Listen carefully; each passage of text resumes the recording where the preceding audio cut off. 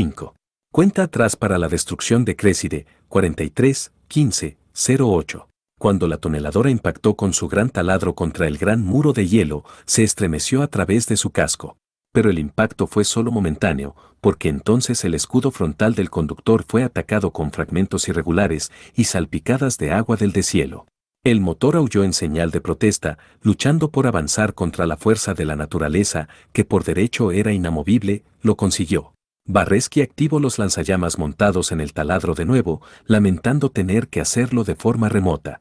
La tuneladora jadeó y se estremeció, y una nueva ola de agua impactó contra su frontal, pero poco a poco iba ganando velocidad y siguió hacia adelante. La parte más difícil ya estaba hecha. Ya estaban en el interior del glaciar y el taladro había encontrado su ritmo, su movimiento rotatorio trituraba el hielo a su paso, como si fuera papel. Todo lo que tenían que hacer era mantener el impulso y mantener la vista en los paneles de control. En ausencia de peligros inminentes, Graile mantuvo su mirada fija en el Auspex, mientras que, por su parte, Barreski anhelaba un reto mayor que el de simplemente mantener el giro del taladro. Estaba a punto de conseguir su deseo. El hielo se había cerrado en torno a la tuneladora, las paredes y el techo de hielo presionaban contra ella, comprimiéndola. Era de esperar, por supuesto y al principio pensó Barreski, que los gemidos ocasionales de casco podrían deberse a la compresión del túnel, aunque podía sentir un aumento de la presión como si el aire mismo fuera más denso. Pero los gemidos del casco eran cada vez más frecuentes y más fuertes. Y luego, Gray le informó de que la velocidad había bajado. Barreski sabía qué hacer. Encendió de nuevo los lanzallamas, para facilitar su paso a través del hielo, y Gray le parecía satisfecho pero tan pronto como Barreski quitó las manos de los controles de disparo de Gray le frunció el ceño, meneó la cabeza y anunció que iban a disminuir la velocidad de nuevo. Barreski repitió la secuencia dos veces más, con los mismos resultados, hasta que Barreski comenzó a preocuparse de agotar los tanques de premisien de los lanzallamas. Parece que vamos a perder la apuesta, Grayle, dijo con los dientes apretados. Entonces el casco emitió un gemido particularmente violento. Bor se levantó de un salto y activó la alarma de los demás. ¿Estás seguro de que el casco podrá aguantar? gimió Bors. Hace un par de minutos, dijo Graile, te lo habría garantizado. Pero ahora, ¿ahora qué? dijo el coronel Stele, levantándose también. Con dos zancadas, ya estaba al lado de Barreski y Graile, apoyándose entre ellos, examinando las runas del salpicadero. ¿Qué está pasando en el exterior, Graile? No lo sé, señor. La tuneladora está funcionando al máximo rendimiento. Es el hielo, es. Sé que esto suena imposible, pero creo que el hielo se regenera más rápido de lo que podemos perforar a través de él. Podrías estar en lo cierto, dijo Gabotsky. Sabemos que el cambio del clima de Crécide, no, tiene explicaciones naturales. Sabemos que la corrupción del caos es el responsable del cambio climático. ¿Por qué no podría estar influyendo en el hielo, también? Ahora me doy cuenta se quejó Bors, dejándose caer de nuevo en su asiento. El túnel se cierra detrás de nosotros. Vamos a quedar atrapados, en este ataúd de metal, para siempre. No, si puedo evitarlo. Gruñó Barreski. Manipuló el taladro, para que aumentara el radio de perforación, y volvió a utilizar los lanzallamas. Eso está ayudando, informó Graile, pero todavía no estamos haciendo los progresos que deberíamos. No podemos seguir así por mucho tiempo, agregó Barreski, preocupado por el combustible de los lanzallamas. El hielo, exclamó Anacora, con una mirada por encima del hombro. Barreski se dio cuenta a qué se refería. El hielo picado estaba entrando por los emplazamientos de armas de los laterales de la tuneladora, como si fuera empujado por una fuerza externa. Seis soldados saltaron y retiraron los lanzallamas y cerraron las troneras. ¿Cuál es? Su evaluación, Graile. Ladró este L. ¿Podremos llegar al otro lado? No, señor, dijo. Graile, no creo que podamos. Bueno, ciertamente no podemos retroceder, dijo Gabotsky. No tenemos el espacio para mover el taladro. Si cambiamos nuestro rumbo a 0,7 y 9 grados, dijo Graile, podríamos salir del hielo mucho más rápido. Saldríamos muy lejos del objetivo, sin embargo. Estelle se detuvo para mirar un mapa táctico en su placa de datos y asintió con la cabeza y dijo, es nuestra mejor esperanza. Haga la corrección del rumbo, soldado. Cuando Grayle inició el cambio de rumbo, otra gemido atrajo la mirada de todos hacia arriba. Una grieta había aparecido en el casco, que se extendía por la mitad de la longitud del compartimento de pasajeros. Ya ve, soldado Bors, dijo Mikael nerviosamente. No tiene que preocuparse acerca de quedarse atrapado aquí dentro. El hielo se va a romper la tuneladora como si fuera la cáscara de huevo y nos aplastara a todos. ¿Crees que el hielo hizo la grieta? Bromeó Posar. Ah. Medias. Eso es de donde Bors golpeó con su gran cabeza allá arriba. ¿Puedes colocar el taladro un poco más atrás? Preguntó Gabotsky a Barreski. Daría un poco de protección al techo, ya sé, que frenaría un poco la perforación, pero no se puede hacer, sargento. Dijo Barreski. Lo he intentado, pero el taladro se atasca en este ángulo. Entonces es una carrera, dijo Estelle, con la voz muy tranquila, dadas las circunstancias. Entre nosotros y el hielo. Confío en que ustedes dos, Graile, Barreski, hagan lo que tengan que hacer. Hemos de movernos lo más rápido posible. Sí, señor, dijo Graile. Luego se volvió hacia Barreski, alzando la voz para hacerse oír. Puedo redirigir algo de energía, de las cadenas tractoras, hacia el motor del taladro. Cuando más velozmente perfore el taladro, menos fuerza necesitan las cadenas tractoras. Uno de lanzallamas no funciona, informó Blansky detrás de ellos. Solo funcionan tres de ellos, el cuarto parece que se ha atascado o ha sido golpeado por fragmentos de hielo. En el techo de la tuneladora se comenzaba a formar un bulto hacia adentro, por la creciente presión que se ejercía sobre el casco. Sobre ella, y los guardias de hielo, tenían que agachar la cabeza para no golpearse con el techo. Barreski era tan absorto en su tarea que apenas oyó la voz de Graile anunciando que a su velocidad actual que saldrían del glaciar en un minuto. Parecía que sería el minuto más largo de su vida, especialmente cuando de sus cuatro lanzallamas iniciales, solo dos de ellos estaban funcionando, utilizado las últimas reservas de combustible. Se dio la vuelta y se encontró con Palinev, con un lanzallamas de mano, que le había solicitado. Barreski saltó de su asiento y le arrebató el arma del hombre más pequeño, incluso cuando el hielo resquebrajo el frontal de la tuneladora, creando una avalancha de hielo. Graile no tenía elección. No podía abandonar su posición, y vio como el hielo lo cubría, agachó la cabeza, cerró los ojos, contuvo la respiración y continuó con las manos manejando los controles para salvar su vida y la de los otros. Barreski se reunió con él lanzando un chorro de llamas a través de la grieta, evitando que más hielo entrara en el compartimiento. El agua derretida cayó sobre los controles de la tuneladora, enojando a los espíritus de la máquina, que respondieron con una andanada de pequeñas explosiones pequeñas, pero no podía preocuparse por eso ahora. Bors estaba de pie sobre una silla, en un intento desesperado, aguantar el peso del techo sobre sus hombros, pero los laterales del compartimiento de pasajeros comenzaban a hincharse también. El lateral derecho estalló al fin, cuando el motor pronunció su último suspiro. Entonces, el extremo frontal de la tuneladora salió al exterior, con un gran gemido. Gabotsky dio la orden de abandonar el vehículo y sus ocupantes se abalanzaron, casi unos sobre otros en su prisa por obedecer su orden. Barreski habría esperado que el tecnofóbico Bors fuera el primero en salir, pero con la mitad trasera de la tuneladora atrapado aún en el hielo y con el techo aún amenazando con derrumbarse. El fornido guerrero del hielo optó por continuar en su papel de columna humana. Barreski se quedó sorprendido al ver que el coronel, el hombre más cercano a la salida, estaba retrasando su salida, con el fin de liberar al conductor del hielo que lo había enterrado. Corrió a vía adelante y juntos liberaron la cabeza de su compañero. Graile semiconsciente expulsó hielo por la nariz y la boca y murmuró. ¿Hemos llegado? Entonces, la parte trasera de la tuneladora se hundió, compactando la mitad del compartimiento de pasajeros en una maraña de plastiacero. Afortunadamente esa parte ya estaba despejada. Acarreando a Graile entre ellos, Barreski y Estelle salió a toda prisa por la escotilla que se encontraba encima de ellos, y tras una caída de dos metros, se zambulleron en un manto de nieve gris. Estelle aterrizó sobre sus pies, pero el peso de Graile hizo que Barreski perdiera el equilibrio, cayó de espaldas, justo a tiempo para oír un rugido. ¿Qué voy? Y la forma de un enorme bors cubrió el cielo gris. El impacto fue duro para los dos, pero Barreski se llevó la peor parte. Se sentía como si le hubiera dado una patada en el estómago por un jack ecuatorial. Por un momento, todo lo que podía ver era una neblina de color rojo. Estaba inmovilizado entre Graile y por Mayor Bors y podía oír los gemidos y como el plastiacero se rasgaba encima de él. Temía que los restos destrozados de la tuneladora estaban a punto de derrumbársele encima también. Y había otro sonido, también. Un sonido que, en todo caso, hizo que Barreski aún se preocupara más por su futuro inmediato. El sonido de descargas de rifles láser. Las criaturas habían estado esperándoles.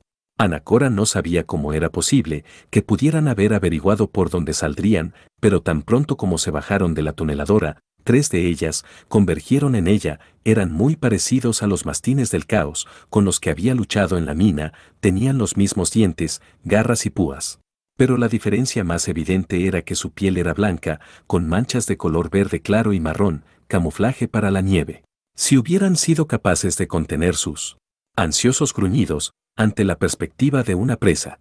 Aún así, era difícil ver dónde la forma de cada una de las bestias terminaba, y era muy difícil dispararles. Anacora disparó tres descargas con su rifle láser de todas formas, una en la dirección de cada una de las bestias. Entonces corrió, no por cobardía, sino con la esperanza de atraer a las criaturas lejos de los restos de la tuneladora y de los otros guardia de hielo que estarían a punto de salir, aturdidos y confusos. No iba a perder a otro equipo tan pronto. No si podía evitarlo. La primera de las bestias se abalanzó sobre ella por la espalda, hundiéndole sus garras en los hombros.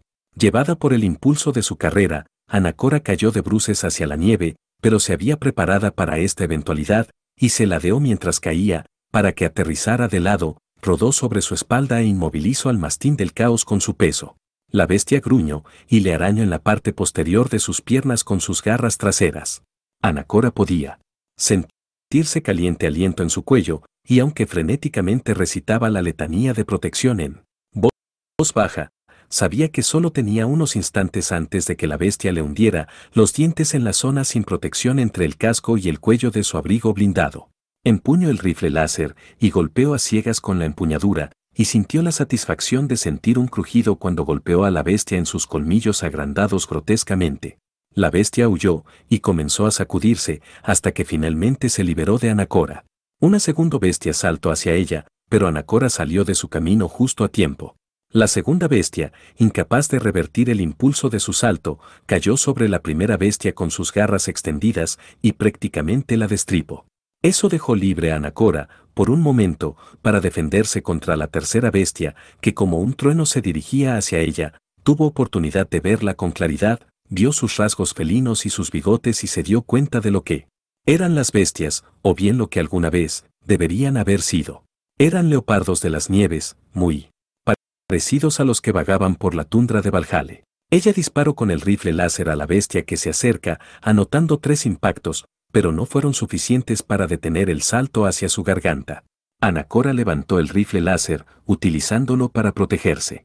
Tan pronto como las garras del leopardo de nieve golpearon el arma, lo levantó por encima de su cabeza, como si se tratara de la barra con pesas de un gimnasio, a la vez que se dejaba caer de rodillas. El enorme cuerpo de su atacante pasó por encima de su cabeza, pero reaccionó más rápido de lo que había esperado, y en el momento en que Anacora intentaba recuperar el equilibrio y apuntarle con su rifle láser de nuevo, el leopardo de las nieves había frenó su impulso, se volvió y ya se acercaba a ella. Su única esperanza era un disparo mortal, a través de su ojo derecho, que penetraría dentro de su cerebro. Era imposible. En una fracción de segundo, que se extendía en una eternidad, Anacora se dio cuenta de que no tenía la tiempo para nivelar el arma, para protegerse como lo había hecho antes, y se enfrentó a su muerte con un fuerte sentido de resignación. Volvió la cabeza, sintió el impacto de la bestia en el pecho, que la derribó, sintió un chorro de sangre caliente y pegajosa que le salpicó la cara. Y griega. Se dio cuenta, para su sorpresa, que la sangre no era suya. El leopardo estaba de pie sobre ella, salpicándola con su sangre negra, que salía de una herida en su cabeza, una de sus patas delanteras por debajo de una rodilla, era un muñón sangriento. Era incapaz de ver, no podía correr, o atacar en el dolor y la confusión, y parecía haberse olvidado de su antigua presa. Luego fue golpeado por tres descargas a la vez. Más sangre y despojos brotó de entre sus costillas, y la bestia cayó sobre un lado, bien muerto. Los compañeros Anacora habían llegado al rescate. Estelle estaba cuestionando su juicio una vez más. Debería haber anticipado que podría haber problemas fuera de la tuneladora. Debería haber salido primero. Debería, entonces, haber dejado que los otros ayudara a Graile. Debería haber salido primero, listo para dar órdenes. No tenía sentido pensar eso. Gabotsky y los demás tenían las cosas bajo control, por ahora. Solo uno mutado leopardo permaneció erguido, y estaba aullando y retorciéndose por el fuego cruzado de cinco rifles láser. Este L se preguntó si los animales eran nativos de este mundo, tal vez de las regiones polares de este planeta, antes de que el frío se extendiera. O en realidad habían evolucionado, en el corto periodo, desde que un invierno permanente había caído sobre Crécide, para adaptarse a su nuevo clima alterado. Utilizó su respiro momentáneo para inspeccionar su nuevo entorno. Dos metros por encima de él, la parte delantera de su maltrecho vehículo sobresalía de la pared del glaciar. Observó cómo el hielo recubría la tuneladora. Y como unos minutos después, una nueva capa de hielo se había formado sobre el túnel, y los restos de la tuneladora, sin dejar ninguna señal de la tuneladora, era como si nunca hubiera estado nunca allí. Bors, Barreski y Grail estaban en el suelo, junto a este L, que luchaban por levantarse. Bors fue el primero en levantarse y se apresuró a ayudar a sus compañeros, con gran satisfacción. Al frente de este L, había un bosque. Su borde más cercano era casi paralelo con la del glaciar, dejando solo una estrecha franja de tierra entre ellos, de unos 80 metros de ancho más o menos. Al igual que el glaciar, el bosque se extendió mucho más allá, de lo que su ojo augmético podía alcanzar. En el pasado era un bosque de madera, pero ahora era de esculturas de hielo, obscenas y retorcidas, que habían sustituido a los árboles, el hielo había cubierto a los troncos, incluso las ramas estaban cubiertas por el hielo. Los árboles de hielo eran altos y lo suficientemente gruesos como para borrar la luz del día, ya escasa y las sombras entre ellos eran oscuras y le daban malos presagios. Sus superficies tenían incrustados los hongos morados, y el sensible olfato de este L se arrugó su hediondez. Podía detectar algo más, un movimiento. Había algo ahí fuera. Activó la función de zoom de su ojo, los augméticos tardaron en reaccionar a sus pensamientos un segundo, y pero entonces el movimiento que el coronel estaba investigado, había penetrado en las oscuras profundidades del bosque de hielo, y allí, allí estaba, por un segundo al menos, una criatura humanoide, cubierta de pelaje gris claro, o tal vez estuviera cubierto, con un abrigo de pieles. Este no lo podía decir, porque antes de que pudiera ajustar su enfoque para ver a la criatura más claramente, se puso en movimiento con un modo de andar extraño, arrastrando los pies. Y desapareció detrás de un grueso árbol y lo había perdido. Al menos de momento, pensó, por su modo de actuar. No había tenido tiempo para adivinar lo que era, la figura podría haber sido un explorador del caos, en cuyo caso este L no podía dejarlo irse, no podía permitir que alertara a sus amos de la presencia de los guardias de hielo.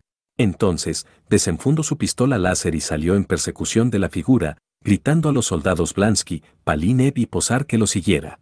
El resto podrían seguirlos por los rastros de nieve que dejarían una vez se hubieran repuesto de su apresurada salida de la tuneladora. Cuando Estelle cruzó la línea de árboles, fue sumido en una penumbra misteriosa, y la apertura de su ojo augmético se ampliado para compensar. La reciente nevada, en su mayor parte, no había tocado el suelo por la espesura de los árboles. El suelo era negro y estéril, pero las raíces de muchos de los árboles de hielo que sobresalían del suelo, como cables trampa y manchas de los hongos por todas partes, convertían en suelo en resbaladizo. Este L tuvo que ralentizar su ritmo. Aún así, casi perdió el equilibrio y sintió un fuerte dolor en el hombro izquierdo. Había rozado el tronco de un árbol para no caerse, y el hielo estaba tan afilado, había cortado a través de las capas de plastiacero y termoplásticos del abrigo para cortar su piel. Se volvió para advertir a sus soldados, pero vio que ya habían descubierto el peligro por ellos mismos. Procedieron lo mejor que pudieron después de eso. Este L usó su espada de energía para cortar algunas de las ramas más traicioneras, para abrirse camino, incluso sin el campo de energía activado, la bien afilada hoja cortada fácilmente las ramas.